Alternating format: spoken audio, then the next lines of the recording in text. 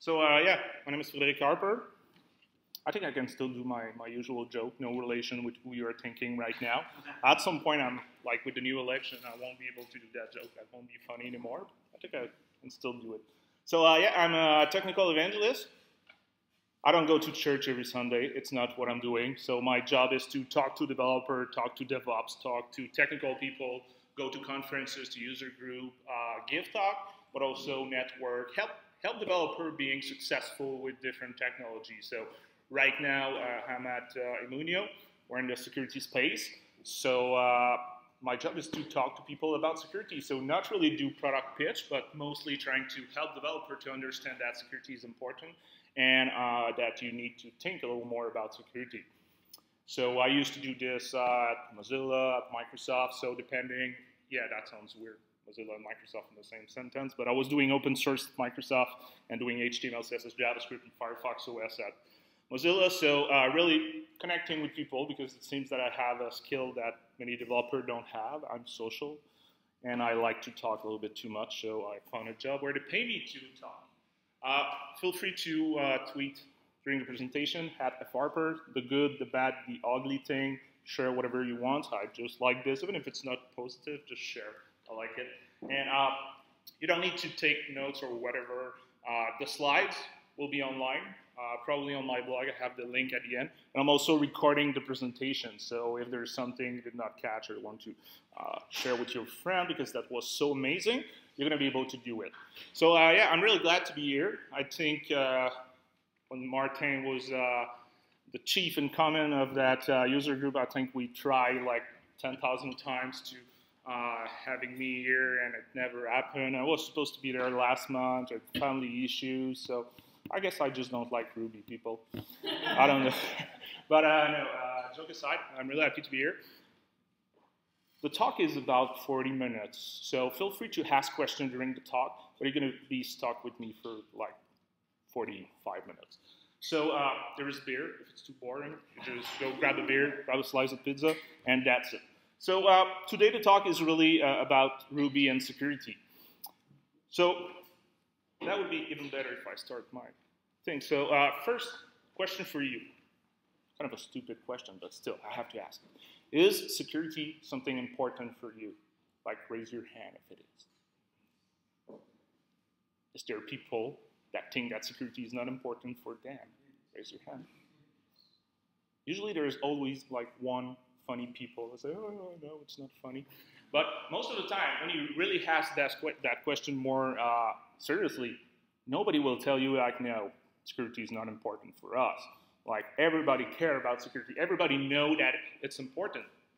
But how many developers in the room, like, just to have an idea, like, are you all developers, or there's some DevOps, or some, like, other stuff you do? No? Yes?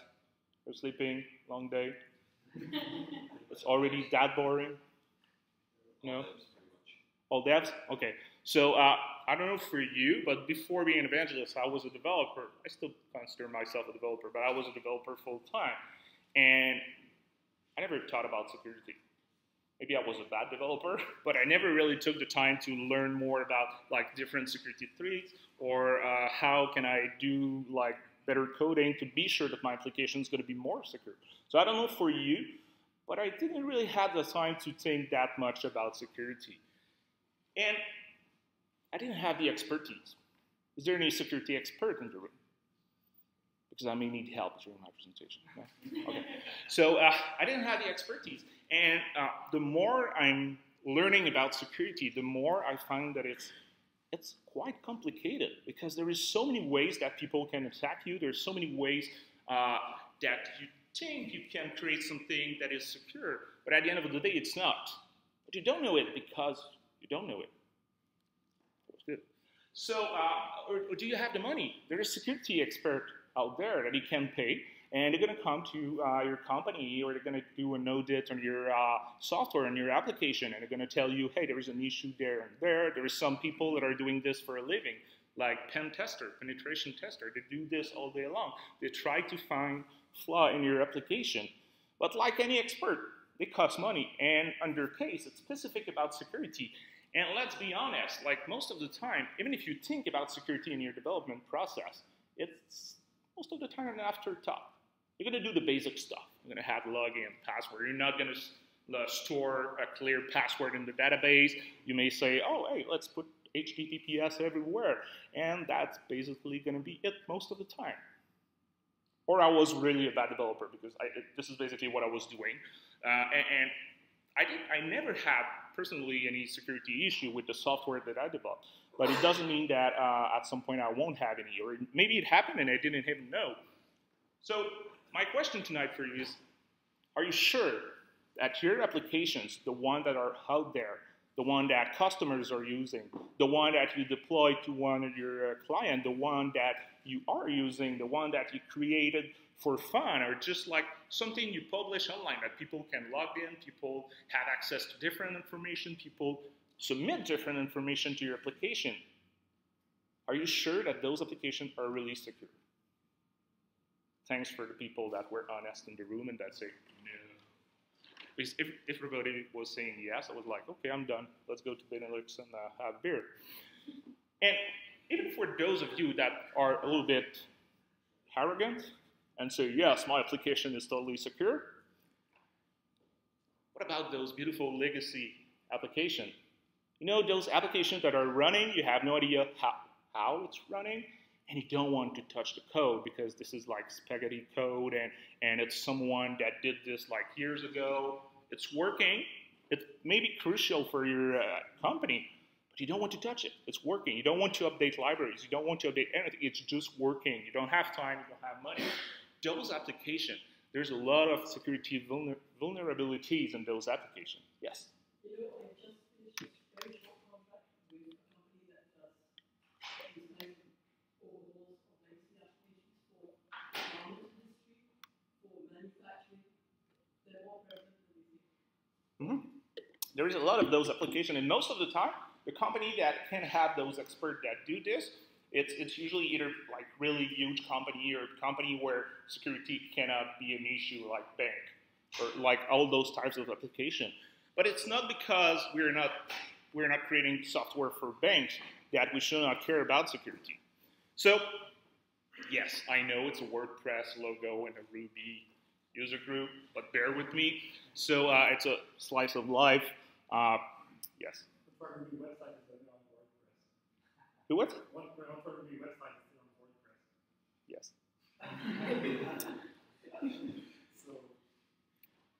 so I had, I still have my uh, WordPress uh, blog.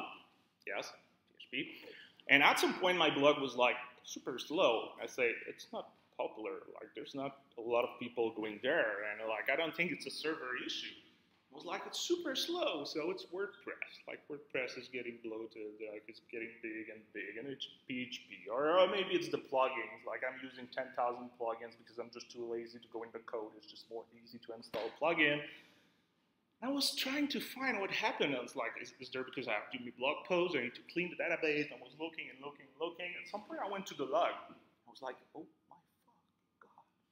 Like people were doing brute force attack on my blog all the time. And brute force attack is just people trying to log in with like usual suspect in, like username, password, and they try and they try and they try. And usually it's not like someone behind a computer. It's an automatic like system. It's a bot that tried to log into your website. And in that case, that was like handmin, handmin, handmin love, handmin nature, handmin like you know all the the, the the the usual suspect when it comes to password and username. They were trying my first name, my last name, a combination of both. And they were attacking me so much that my site was slowing down. Fortunately for me, I'm not making money with that site. Uh, uh, it would be bad if my site would be online or be hacked. But uh, I was like, okay, I need to figure out why it's happening. So I saw this because my site was slow. But if they were not attacking me that much, like just half of the effort they put on my site, I would never know that it would ha uh, uh, attacking my site. And what you need to think in mind is that right now, your application may be attacked. There's maybe someone who's attacking your website right now. You don't know it because either they're not successful, or if they're successful, they do something really uh, minimal. Uh, it happened to me on some website where uh, the was not minimal, but it just took the front page and say, haha, we hacked you. I had nothing better to do in my night, so I just went to your server and hacked your, your web page. Or at some point, some people were using uh, the space on my host to, uh, like, when I logged into my FTP server, I saw that I had, like, a folder, like, what is that folder? And with a lot of illegal stuff, and they were just using my space and my bandwidth to share stuff with other people in the world. But I didn't know, like, I known this because I logged in into my FTP and I saw that folder. But I did not know that they were successful. I had no idea when they did this and when they started to use my space. So the goal is not to afraid you, it's not to make everybody pariah.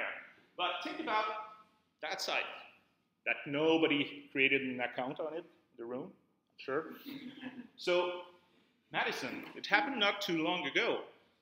And uh, I don't remember exactly the, the, the, security issue they had, but the, uh, what happened is that all the members of that site went public with information about like name and first name and some address, credit card number.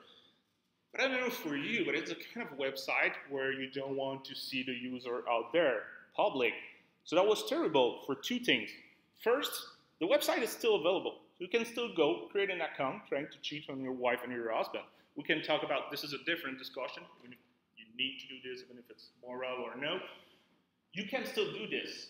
But unless you, you live under a rock for the last couple of weeks or months, if you want to cheat, there's no way you're going to go on that website. They got hacked. There's an issue. But that was more terrible than that. It's more about the, it's less about the data in that case. There's some people that just committed suicide because their name was out there. Again, we can talk about like the fact that they subscribed there, they wanted to cheat. It's another discussion. But there is real impact in life. And what happened to those developers that are there?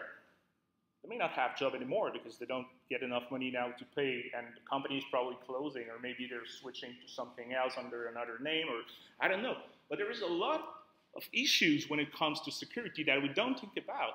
And those people, they realize those issues once it happened. And it was too late.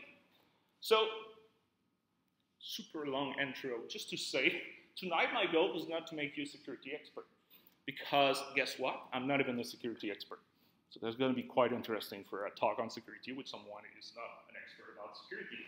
But my goal is really to make you understand that, uh, not to make you understand, everybody knows that security is important, but make you understand really that you need to think more about security when you create your application. You need to put in your development life cycle, the security, you need to have a bucket, you need to take time, you need to take part of the budget to think about security.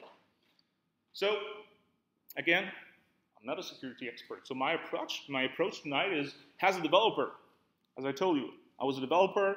I know that security was important, but I didn't really had any tools or knowledge to make my application more secure. So my presentation tonight is really about, hey, as developer don't have that expertise in security, how can I know a little more about security? How, what, what are the like faster, I don't like to say fast because usually we say fast or quick, it means that, that won't be effective.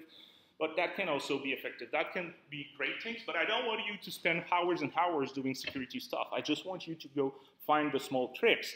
And funny enough, I'm not even a Ruby expert, so I know Ruby. I started Ruby not too long ago, and uh, I'm probably going to bug Martin so much real, uh, really soon, so be prepared.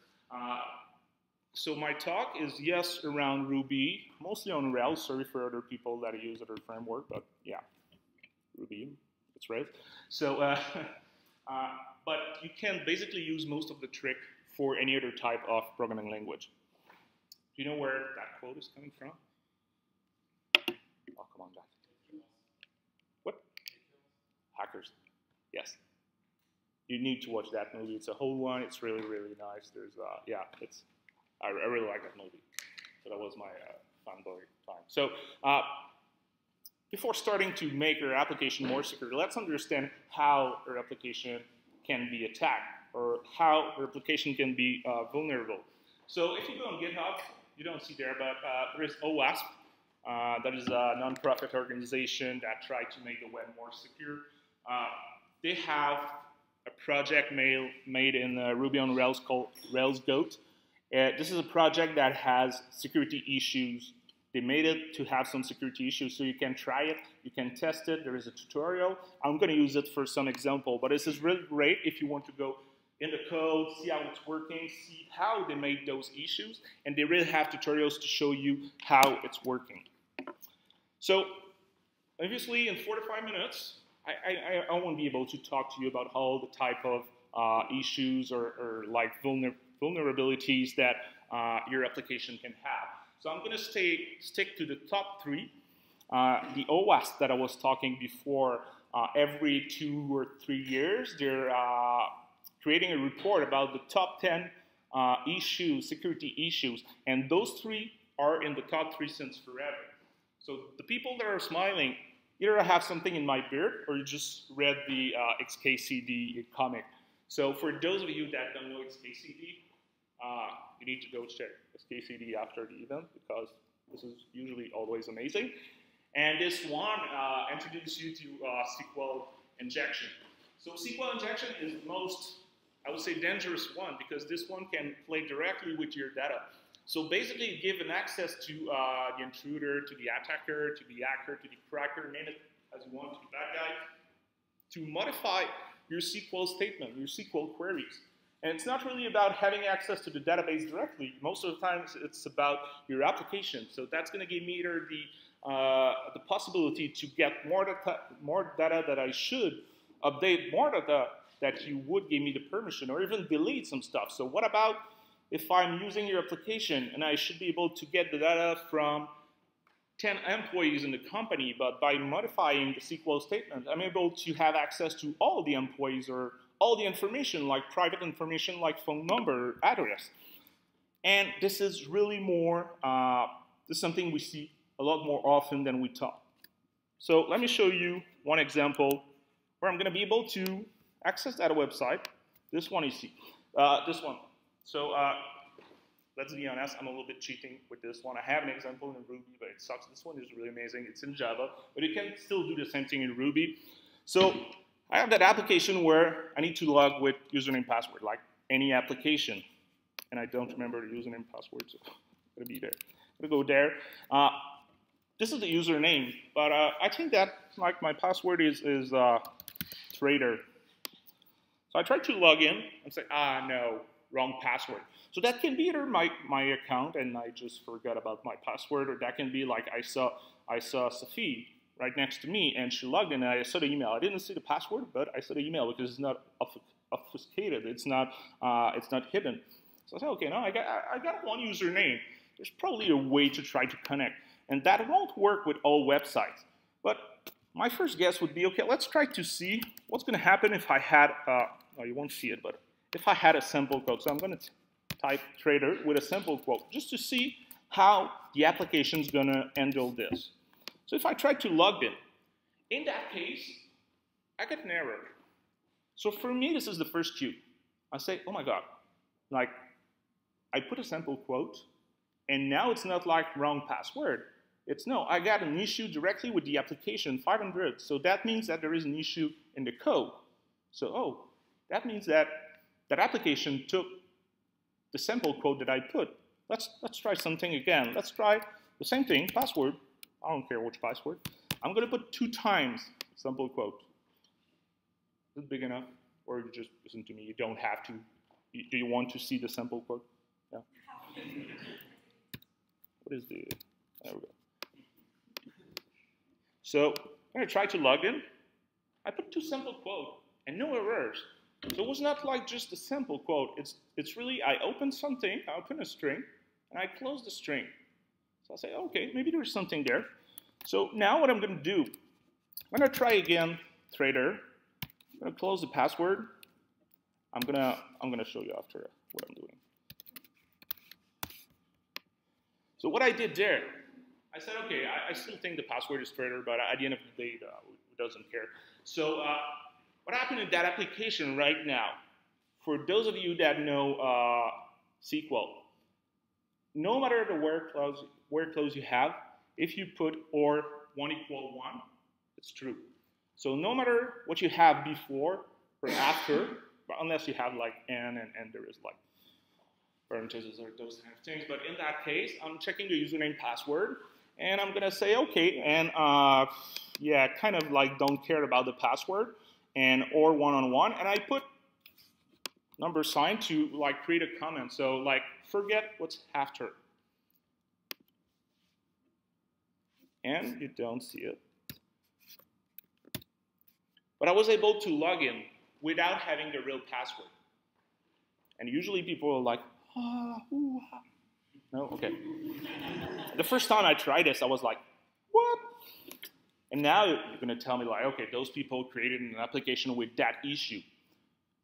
Don't start to try to do this with every website. Most of the time, that won't work. But it's not just about that password field. It's about mostly any field that you have in an application where you take the user input and you take that input to do a query to the database. So what happened in that case, it's in the code, the developer just tried to you tried to create a string, a SQL query in a string, and it just took like the input from the user. Well, I, should, I should care. I, I, should trust the user. Like you just gave me the username password.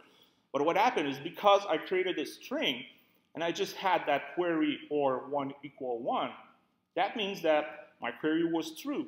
So the password didn't matter at some point. So I, I just logged in with the user without knowing the password. And you're going to be able to do this in a couple of type of application.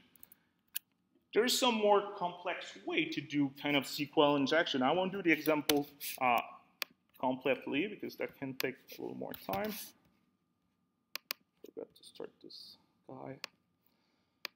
So what's frightening with the security space is that it's super easy to become a hacker. Not maybe a really good hacker, but like there's a lot of tutorials out there. There's a lot of tools. Burp Suite is probably one of the most known, as far as I know, tools for hackers. Uh, I got the free edition, so I didn't have to pay for this. And it's like, hey, I have a tool where I can use it to do a couple of things. So in my case, I'm going to use it to uh, use it as a proxy. So what I'm going to do now, just going to go in my network settings, connected on Wi-Fi. Going to activate the proxy. So what I'm doing right now is that every connection that's going to happen on my computer, they're going to go through that application, Burp application. So what that's going to give me, that's going to give me the opportunity to, let me start Rails Goat. That's going to give me the opportunity to listen to every call arriving to the application, but also leaving the application. So every inbound and outbound.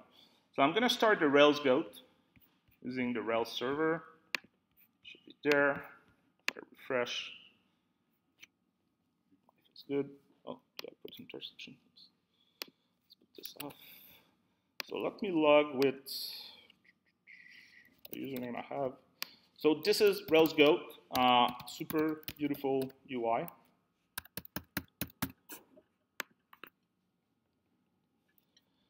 So as an example, if I go in account setting, usually usually a page you, you have. Like it's uh, email, first name, last name, and you can change your password.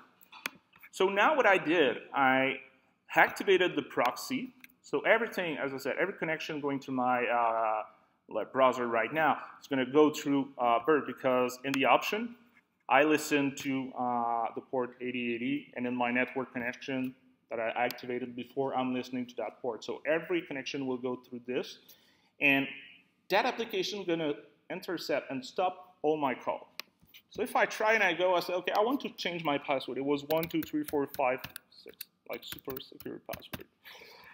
I'm gonna click submit. This guy will intercept the call. And what I can do, I can go there and can say, okay, let's change request method. And what you can see right now, it's the information that went through my application through my server. In that case, it's on my computer, but that would be the same kind of thing.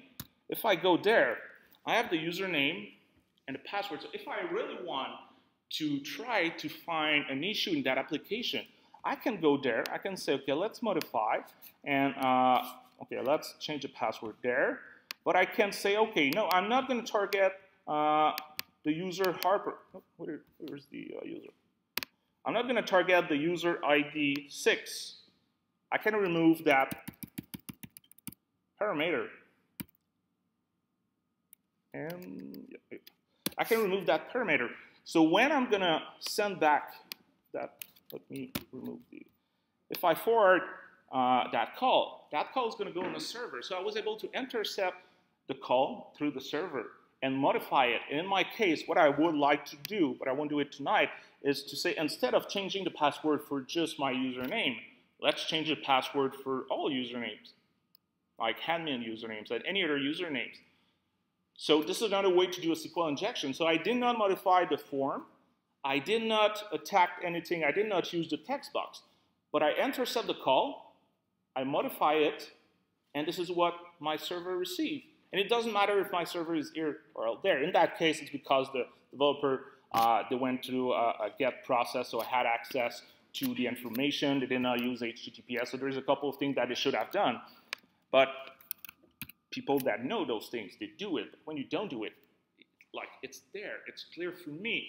And again, I'm not an expert. I just, it's when I was saying that it was so easy. I learned that thing by uh, checking on a YouTube video and talking with someone at job. But when I was looking on something on YouTube, the guy was showing me how to do this.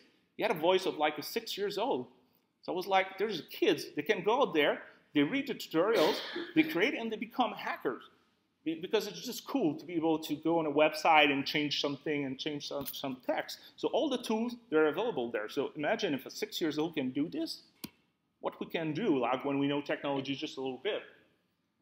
So SQL injection is quite frightening because that gives really access to your data. That gives you that gives access to people to your database, either to, as I said, select, update, or delete, uh, delete some stuff.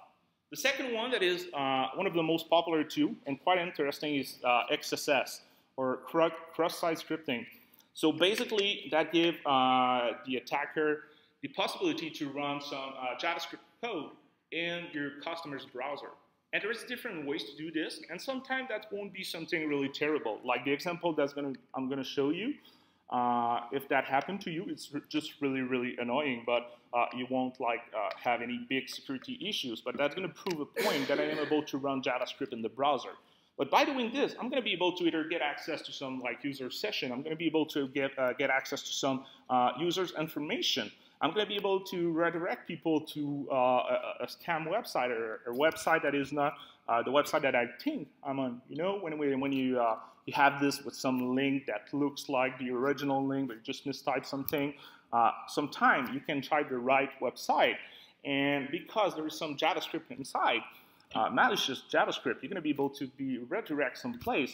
I don't know for you, maybe it's just because when you go to some special website, but at some point you can have injection in your browser. And all websites, even the, the more legit one, the more uh, the one that you should not expect to have issues, they're going to have JavaScript pop up or they're going to have like uh, like ads link inside the website. But in reality, it's not happening on the server. It's not the server that deliver you bad website with some spam in it. It's really on your browser. You got uh, an XSS attack, a JavaScript, uh, cross-site scripting. So if I go back to Rails Goat, I'm so lazy. If I go back to Rails Goat, uh, I can create an account.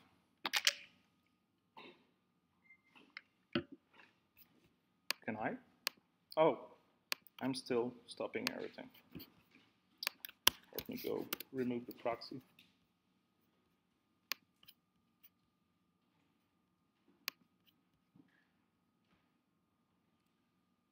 No, nobody's watching you.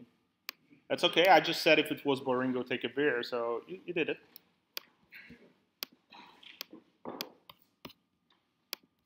It's a joke. It's okay. So I can sign up page. Uh, I'm going to say, okay, let's create a user. This is my email. Uh, but instead of my first name, I'm going to put some uh, JavaScript. This is an alert box. It's just annoying. It's not the most terrible thing that's going to happen to you. And Harper, and I'm going to create again. I don't know why. I just like one, two, three, four, five, six. It's just easier when you do a demo. So I'm creating a user form that you probably created in all your application when you have uh, users access. And for some reason, it did not work. So let me try this again.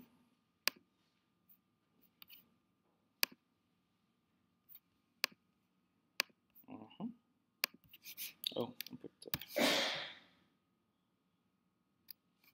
the demo guide.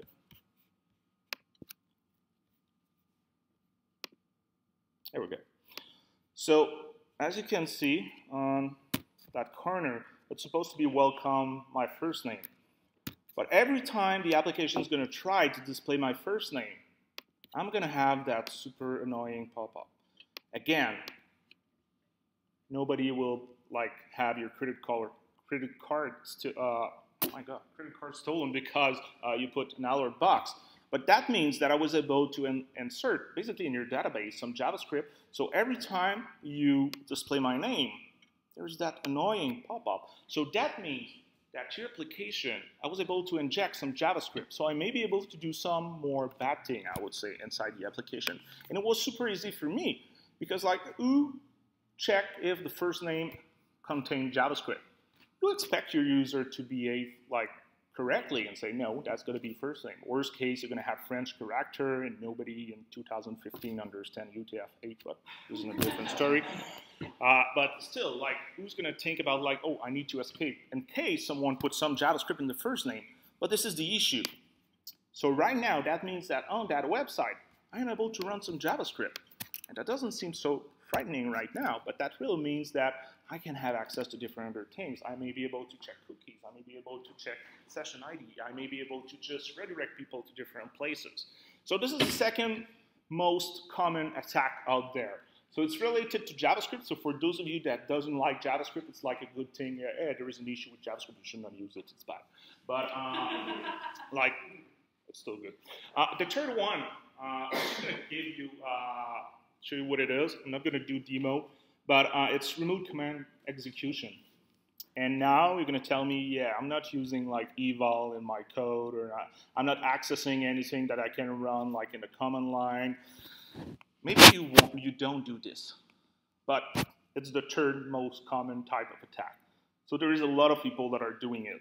So everything in your application that you're trying to use some shell command, Everything, every time that you're going to try to eval, evaluate something, like use the eval function, you're going to give potentially access to the uh, command shell on your server. And that means that if I can have access to the command shell, I may, that's going to depend on your configuration, but I may be able to have access to anything else. I may be able to run a Trojan horse that's going to open the door for me, open some port. And after I'm going to have like free access, there's going to be free meal, free food for me. Yes? What if you don't use shell? What if you directly use fork exec and then the first parameter exec is uh, set by you and then the user put in the ladder You're going to be in a sandbox. So if there is any type of damage that I can do to your application or, or server, that's going to be retained. So uh, there is way less chance that that's going to happen. How might it still happen though when you have to compromise the whatever binary you're running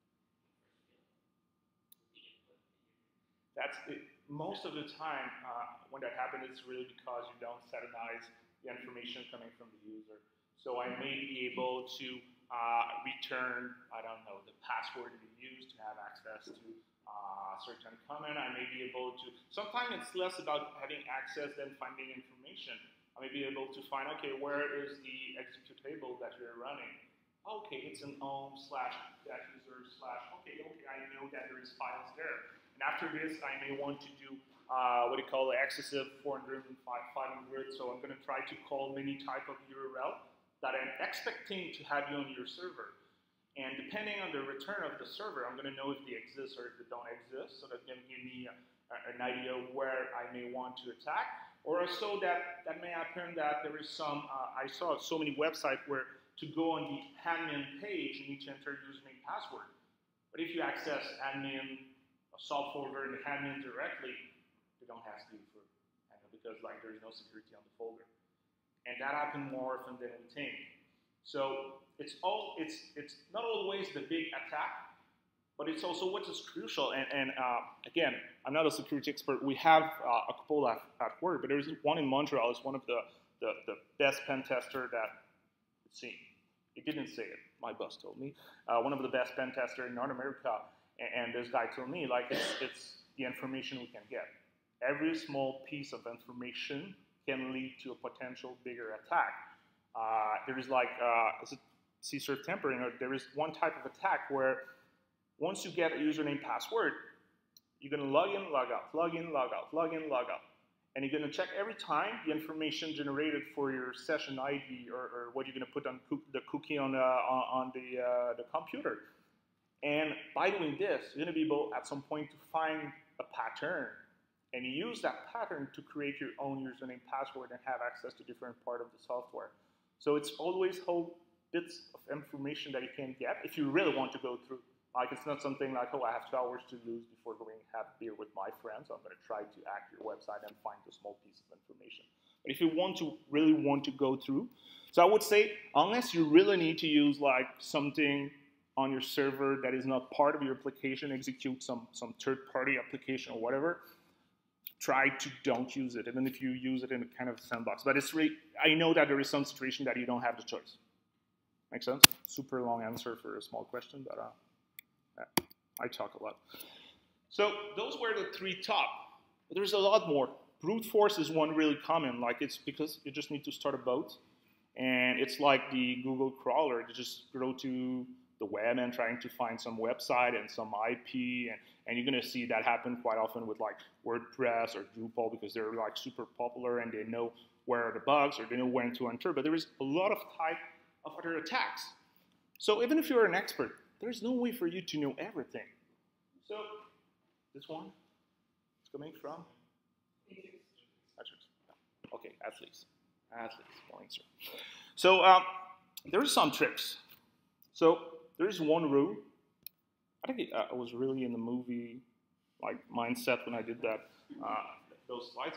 But uh, my first rule and it's really not from me. I stole it from someone, but I, I, I like to say that it's from me. Uh, anything from the user is not safe. If you respect that rule, and it's totally not scientific what I'm going to say, but I'm pretty sure you're going to fix 95% of potential issues that you can have with your application. Uh, anything from the user is unsafe. That means uh, no string attached. Oh, that was funny when I wrote it, but.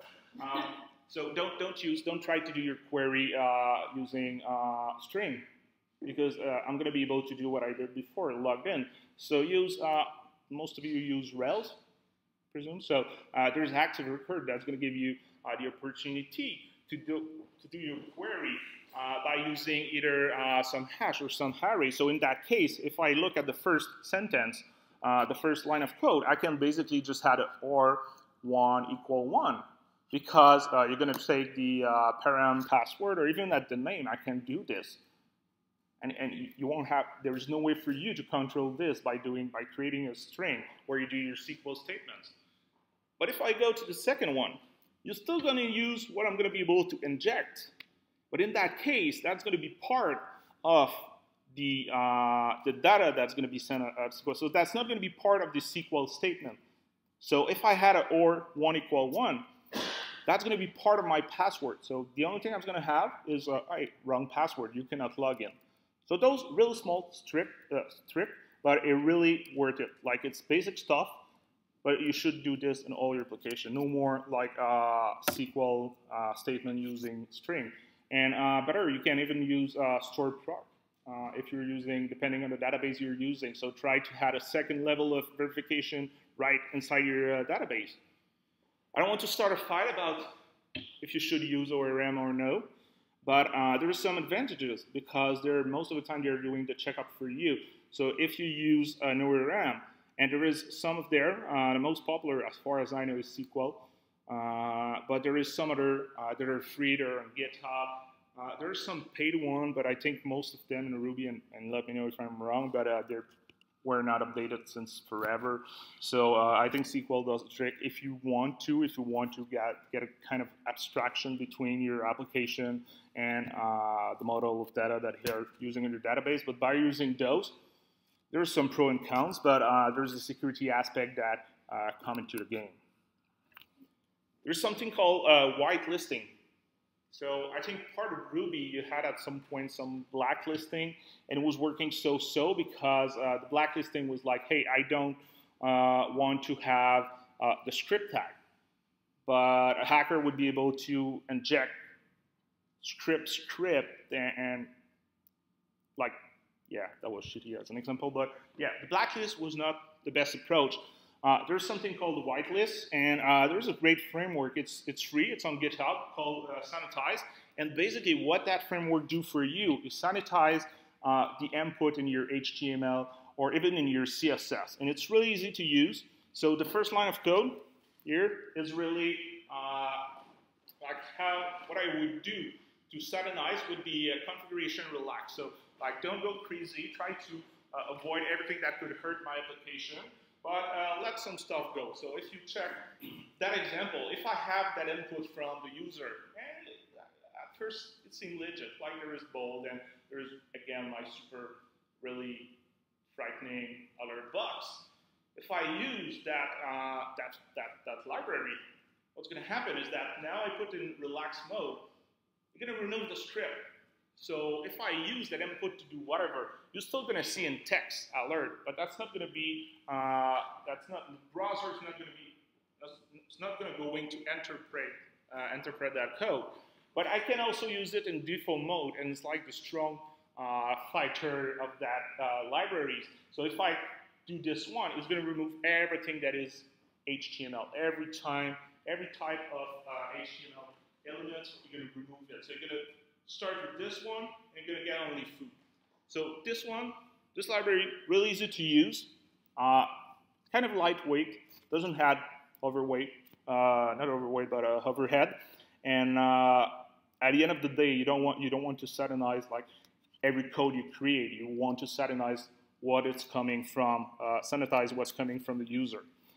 There is other type of sanitization library, Loofah, kind of popular HTML filter, uh, like use Google, you're gonna find a ton of them. Use GitHub, are more, pop more popular, less popular. I really like the previous one, uh, Sanitize, because it's really well maintained and it's working well and it's updated quite often.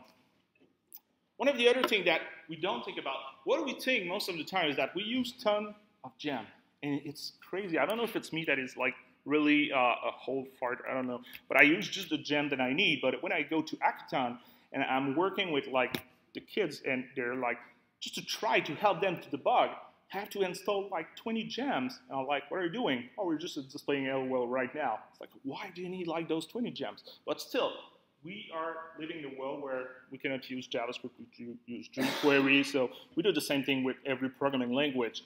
So what you can do is you don't really want to always update your gem because you may have like compatibility issues. You may miss some stuff uh, that was working in previous version.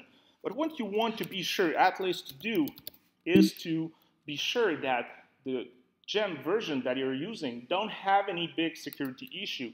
So uh, I never remember the name. So there is Bundle Audit. Uh, it's available again on GitHub. It's free. Uh, what is great is that um, remember the name of the, yeah, so on uh, RubySec, Bundle Audit is the tool I'm going to show you. It's free, but there's also uh, Ruby Advisory DB.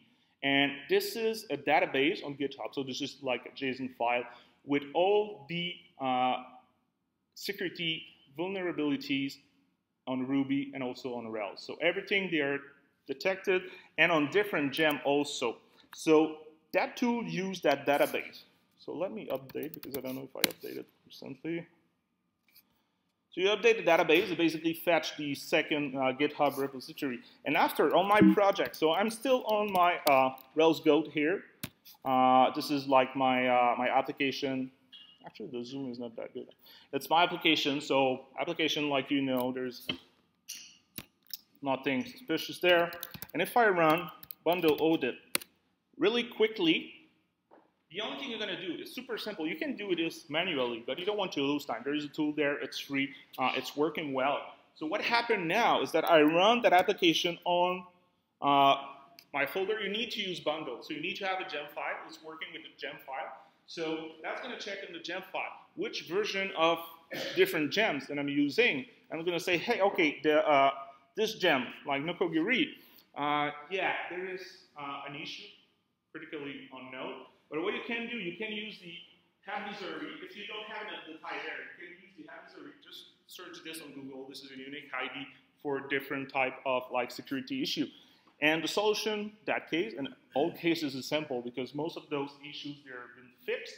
So say, okay, now I need to update to that version. Basic stuff.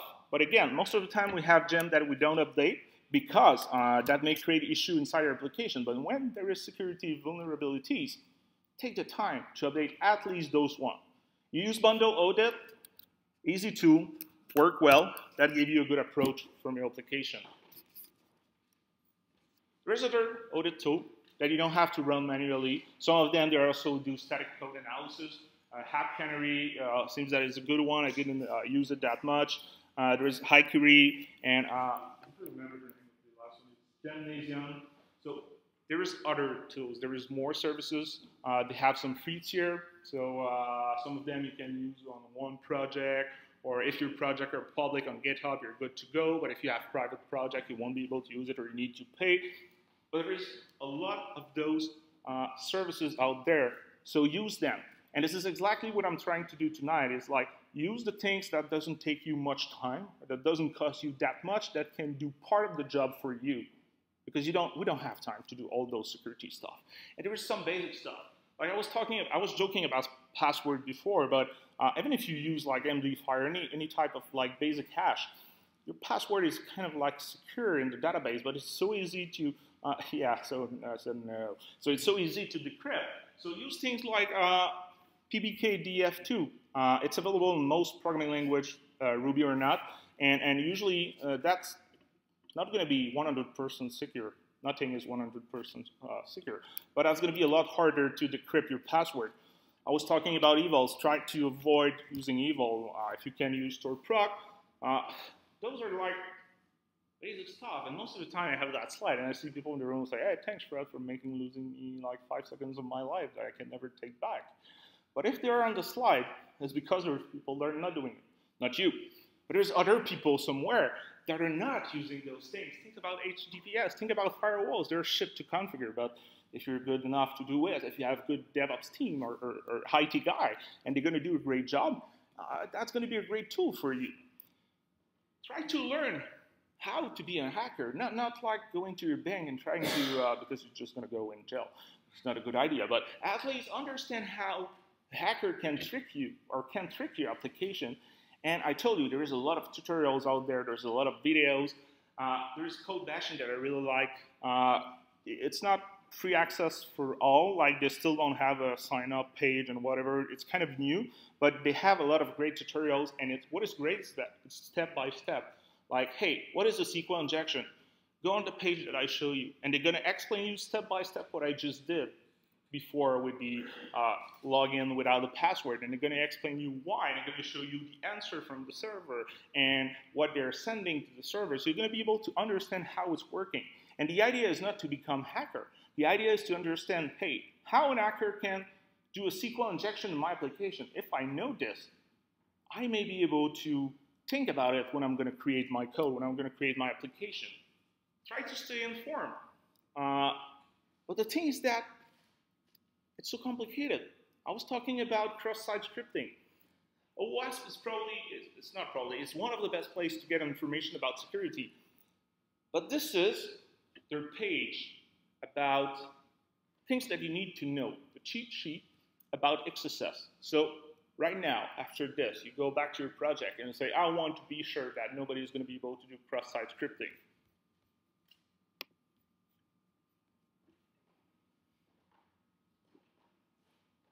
You need to learn how this. You want to do this? Thanks. I said that someone was really, yeah, I want to do this. I have no life. So um, it, this is just about XSS. And this is probably one of the most complete page cheat sheet about like what you need to understand to try to prevent XSS, the tips and tricks. But it's one thing. There's no way for us to know all those things. So I show you uh, the gem analysis. There's also static code analysis. Again, you're not having to change all your mindset. There is one free that is pretty good for uh, Ruby called Brakeman. Again, it's on GitHub, it's free. If I go, if I know I to type clear, and I go, still, I'm still in RailsGoat, and I use Brakeman. Brakeman's going to analyze my code, and uh, from the name, it's, it, it's a static code analysis, so that's not going to detect an issue you can have on a runtime. But if I go there and I use that beautiful zoom, I can see where he found some issue. The interface is really, it's basic stuff like, hey, I found information, I gave you the information, but you're gonna be able to, to know that, hey, in, uh, I don't know, if I scroll, scroll down and I say, okay, controller, I have a warning there. In application controller, oh, there's possibly a cross-site request forgery issue. And he told me which function, and usually told me uh, near which line. Like you can see here, I'm gonna know, okay, in that place, I can have a common injection. And if I go, let me zoom out, it's gonna be easier for me. Uh, yeah, there, yeah, insufficient validation for email. So if I go on model user, uh, good.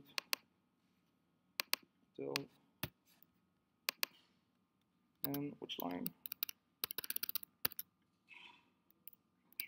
17. I know that here, and I may not know why right now, and it's not a big thing. You need to search, you need to understand why there may be an issue there. But for that application, there is a security, a possible security issue there because you're not validating, you're not doing a great validation of the email. That means that, hey, I may be able to, uh, because there is no beginning and, and ending, and I'm not dealing with character, different characters, I may be able to insert more information and do potentially a SQL injection in that code. But it's not something you, you, you're just validating, hey, there is a, a, a dot something, there is the, the hat sign, this is an email. Good enough, this is what I wanted to know for my application. So static code analysis, this is one really good for free. Uh, of course, there is paid one. There's a lot of those. Uh, those are the three, I think, most popular. I would say Code Climate, probably a lot of people use it or know it. Uh, there's a good hookup with, with GitHub. Uh, Code Review, Downscanner, it's another one, another free one. Uh, Code Climate is free, I think, for one uh, project on GitHub if it's public. Uh, I know that a lot of DevOps or people that li like to have like uh, automatic deployment, they use climate because it's more than security. It's about best practices when it comes to developing software. So it's not just about security. But again, static code analysis, there's some free, some paid one. There is some, some that you can just put in your deployment process and don't have to worry about. They're going to give you a green or a yellow or a red line, uh, light, and it's like, hey, you need to fix something, or everything is good, you can deploy in production. So it's something not complicated to use but it's something that's going to save you time. And there is something quite new, and uh, it's called RASP. So it's Runtime Application Self-Protection. Static code analysis, they're pretty good to, uh, to, to an analyze static code.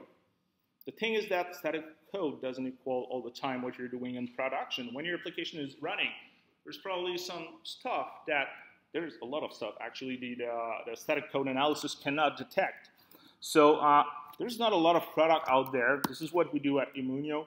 I don't want to do a demo or whatever. I'm not there to like pitch Immunio.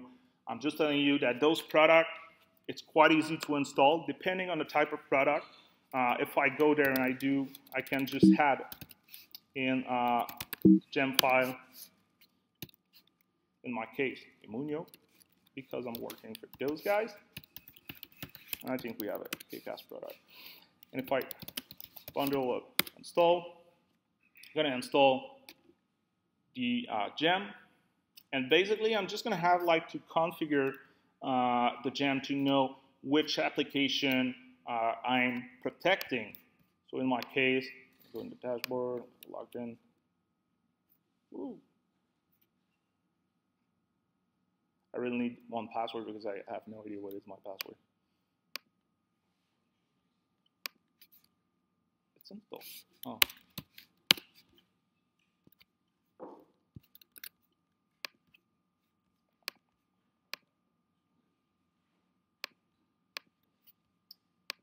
is stupid.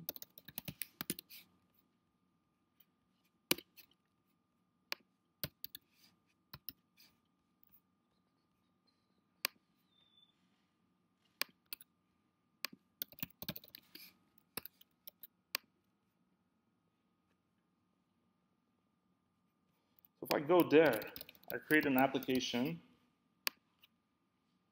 So what I'm going to need is the key and the secret to link my Rails code to Immunio in that case. So I'm going to do bundle.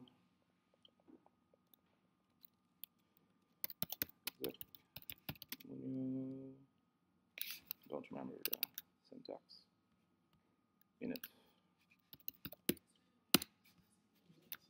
Sorry? Oh.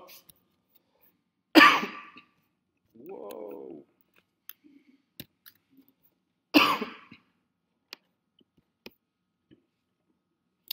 so basically, I'm just having to put. Whoa, it's really not that. Hmm? Oh. Safon. Wait. Windows.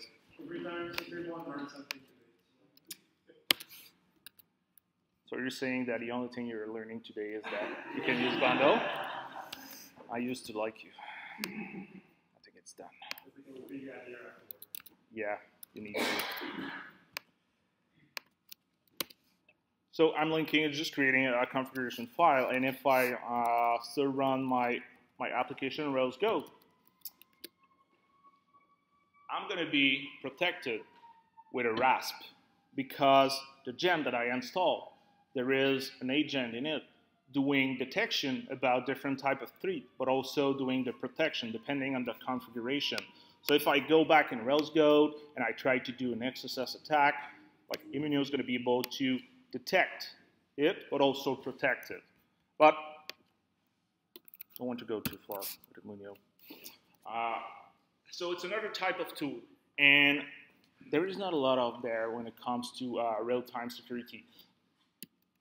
What I can tell you, it's uh, it's only we only scratched the surface, and, and this is kind of like part one of this type of presentation. So this one was like, okay, what can we do right now, really fast, which kind of tools I can use as, a Ruby developer or DevOps to try to make my application more secure.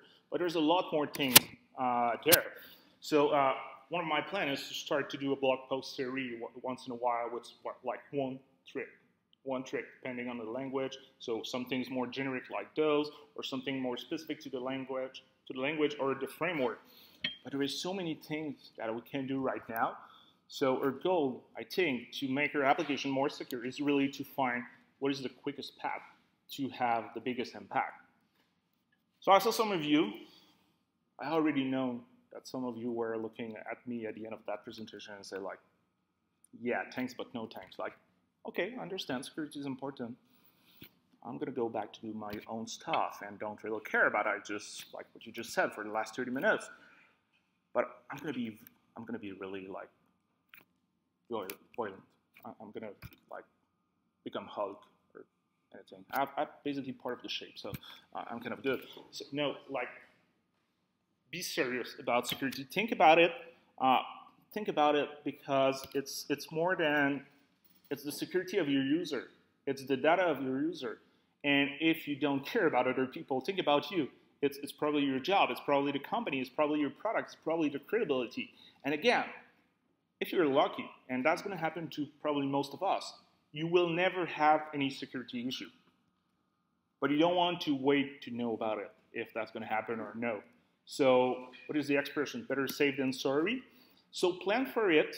Include this in your development life cycle. Think about security. You don't, you don't need to take like 20% of the budget to say, hey, we're going to be like super secure. No, just use those small tools. Most of them, they're free. Most of them after you install them in bundle audit, five seconds. I know which gem to uh, update. Really not complicated. And you need to do it now. Do it now with the next application you're going to build. Do it with your uh, legacy application. Install a firewall if you don't have them. Uh, think about the basic tools that I talk about. Think about the more complex. Uh, try to use the automate service or uh, use some, some, you can try Immunio. There's a free trial if you want. You don't even have to pay. So there is a lot of free tools out there. There's a lot of paid tools. There's a lot of open source. Go with what makes sense for you, but do something. And every little step you're going to have or you're going to do That's going to be one more step or one more fence in front of a hacker. And trust me, if someone really want to like defecate your site or just like do whatever they want, they're probably going to be able to do it. Uh, because nothing is 100% safe, like or bulletproof. Nothing. Like Super, Superman is the proof. Like there's kryptonite, and I'm so sad for that guy. But um, like there is no tool that is totally secure. Like even I'm working at Immunio, and I, I, I will never tell you that Immunio is going to make your website 100% secure. We're going to help it to make it like as much as we can. But there is nothing 100% secure when it comes to security because there is always something new. There is always someone more brilliant than you. There is always uh, a new update that's going to break something. But the more you do, the more chances you have to make your application more secure. So those are some of resources that were not directly in the slides. Uh, again, I'm going to put this online. And uh, I guess we may have time for questions. They're still still there, but if you're too shy or you don't want to ask a question or you think about after, uh, please send me an email. Uh, I'm that kind of guy. I'm still using email that hole. Uh, fharper at Immunio. Uh, Twitter is always a good thing. Facebook if you want. LinkedIn. Uh, there's just Google Plus that I really don't like, but I'm still there. So if there's something, ping me there if you really want to use Google Plus. Uh, go on Immunio. Try it if you want. Uh, I'm going to put the slides and the recording out of comfortzone.net. This is my blog. Uh, please don't try to hack it because I'm not, uh, you know, what is the expression? Uh, I don't know in English, but quel dernier mal chaussé. So my website may not be that secure. But I'm going to post things there. So I think that's it.